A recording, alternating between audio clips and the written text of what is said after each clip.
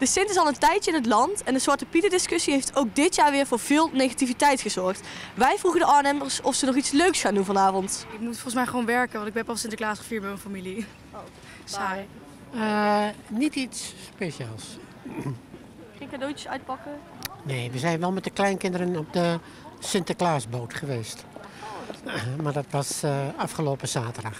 Dus, maar verder doen wij zelf niets meer aan Sinterklaas. Nee. Helemaal niks? Ik ga vanavond naar mijn zoon en mijn schoondochter met kleinkids Sinterklaas vieren. Ja. jazeker, vanavond naar familie toe. Dus uh, naar mijn zusje, die heeft uh, een kleine en dan vieren we het voor het eerst. Vieren we het eerst pakjesavond. Uh, pakjesavond?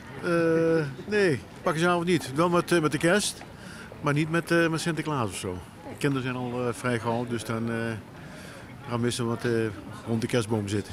ja, ik heb, ben nu eigenlijk een cadeautje aan het halen. Het was niet de planning, maar tenminste we hebben het er niet over gehad.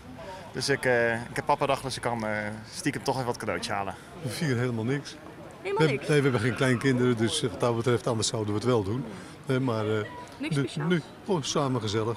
Okay. Uh, moeten we nog verzinnen. Pakjesavond.